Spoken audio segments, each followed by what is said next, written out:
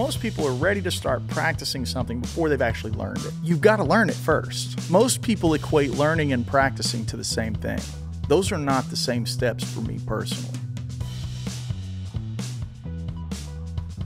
The worst way or, or a mistake when you're trying to practice something fast is to practice it slow. That you have to practice it fast. Is that a, is that a misunderstanding that a lot of guitar players have? Or Oh I- yeah, yeah, yeah. This is one of my favorite things to stir up. So now we're going to stir up the Stir comment up the section. pot a little bit here. we're gonna make Andy. everybody mad. Because maybe I've been doing this wrong. Because I always practice stuff slow. Oh. That's what I Oh. was always taught. so Tell me otherwise, okay, okay. This is funny, right? Because I know everybody's going to be arguing in the comments. Um, I think that you don't practice slow. You have to practice at the speed that it's going to be played at. I'm going to tell you why after I tell you this. You've got to learn it first. Most people equate learning and practicing to the same thing. Those are not the same steps for me personally. Learning it and having the knowledge of what is the correct roadmap on the fretboard, changes or technique or whatever. Learning it is the acclimation of what it's like the acquiring of what it is. Most people don't spend enough time on that. They're ready to start practicing it. But they'll sit there with a metronome and play. So let's take a lick that's real kind of industry standard bluegrass lick. Right? Yeah. Most people will probably practice that. Now, watch my hand. Now, if I play that fast, it's a completely different thing. Yeah. So, even though I'm starting with a downstroke and following with an upstroke and repeating as necessary, that's not the same feeling in my hand. So, if I practice it slow, you're going to get to a certain BPM and be like, I can't do it any faster. Well, that's because you're practicing the wrong thing. You're not practicing it where it needs to be. It needs to be like a buffing wheel that's just flying, and you need to be able to polish it at tempo because that that mechanic is different, right? Like, um, uh,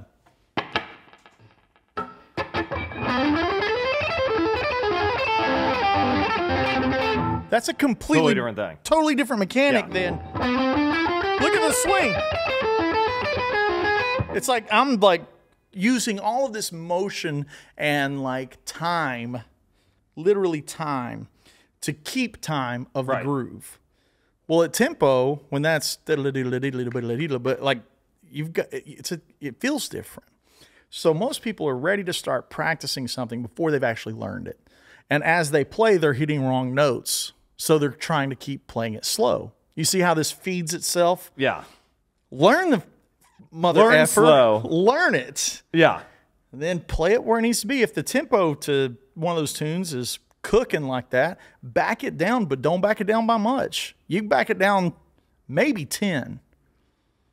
If anything's north of a buck Yeah. 85, you need to be Even on practicing those, it. like the one that always kills me is uh, the Sugarfoot Rag on the Brent Mason album. Yeah, yeah, yeah, That is yeah. so fast. I could never even play it that Uh, fast. Like, You know, it's like that. That's a you know to play. You know, whatever the line is. Yeah,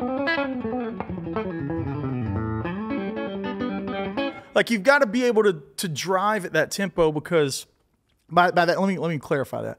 To drive at tempo means to be clear minded, right? You're Yeah. not you're not stressing about because I want to be able to play my own leads at the, that tempo. Like I like uh, the the the big tidal wave hit me earlier last year when I was really starting to get on stage with my guitar heroes.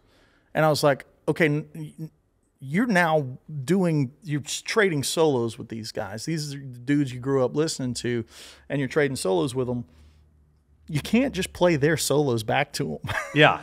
Why not? Because they go, they don't want to hear that. They want to hear something. well, they're going to play their solos. They're, right, right. So it's lame. It's lame if so, you're gonna it. so so when you you know when you're in these opportunities it's a real eye opener and to go yeah well now why am i here and what am i going to play?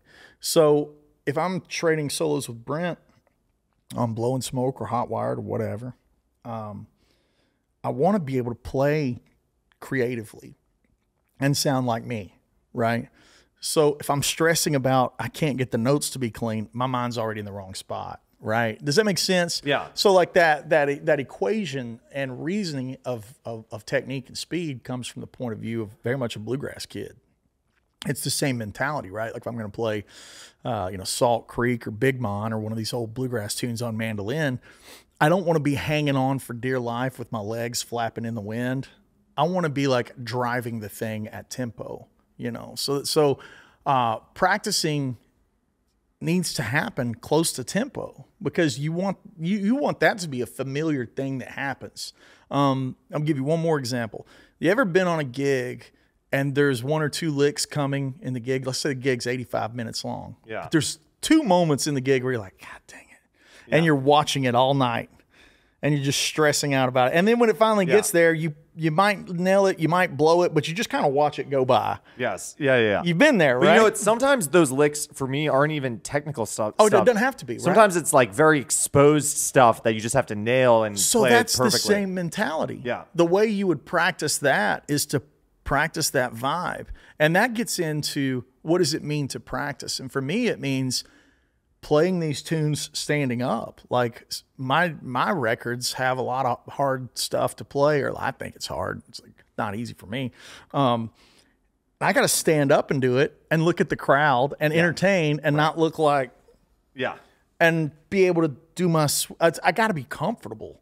You know, I've got to be able to address my band members and you know, like do do the thing, do the thing. So it's like practice means more than taking 25 swings at it and then when I get the one that I nailed, putting that on Instagram. The irony is most of the things I'd say 95% of anything that I post online is within the first 3 takes. It's just because like I want to hurry up, I want to get to the next thing, and you know, it's like my life is not creating, you know, perfect thirty second videos. Yeah. So when anybody sees anything, you know, it's like I've got to where I use a lot of cell phone footage because I want people to hear how hard I'm hitting because I actually play a lot harder than people realize. You know, it's like, uh, you know, if I'm playing.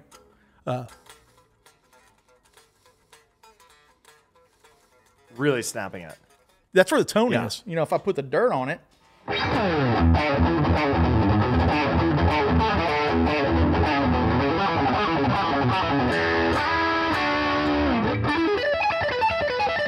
You know, it's it's like Yeah. the, the tone is there. I actually use less gain. This is like everything control is wide open. You know, if I split the coil,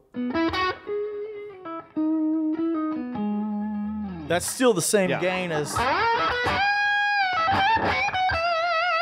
you know, it's all, all all at that same level. This being the distortion pedal.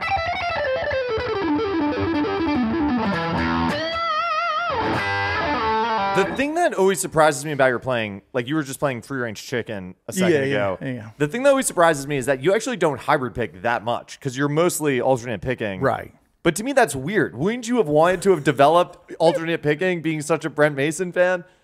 I do when I'm chicken picking. Yeah. When I'm doing the clean amp back pickup telly thing, it's it's this. It is Yeah, that. It is that. picking It has yeah. to be. yeah, Like- yeah, right, right. Yeah, it's like let's just use an audio example here. So if I got as as as telly as a humbucker can be, um, let's play uh, versus. I mean, it just that's where the tone is, you Yes. know. Uh,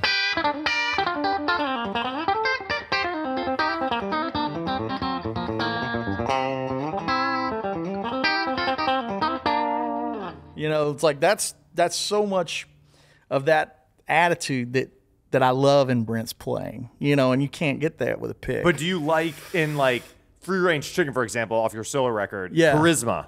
yeah. Well- shameless plug. Shameless guys. plug for Charisma, the solo get 'em. record from Andy Wood. Why, to me, I would almost think that song in the vein of it, you were very okay just alternate picking the whole thing versus the- hybrid picking it. Yeah, because the tune wasn't written as a chicken picking tune at all. Really? It was written as a Dixie Dregs thing. Yeah. kind of a Steve Morse Dregs ism.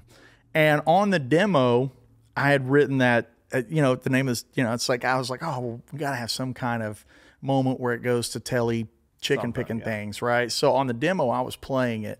And uh, I see, ma- maybe it was my buddy Travis Toy. It was one, one of the one of the bros had said, man, wouldn't it be cool to get Brent on that? And I was like, oh, yeah, but, you know, he's too.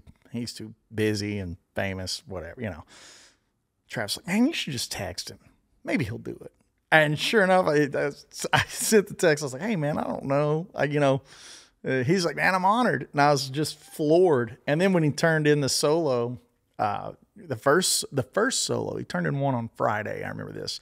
And uh, it was a heater, like full on Brent heater. By Saturday afternoon, he had texted me, he goes, Hey man, don't use that one. I want to send you a good one. I was like, What? Okay. So then he sent the one on like And was it better? And it was the one that's on the record. What was it better though? Did you listen to it? it's not better. It's different.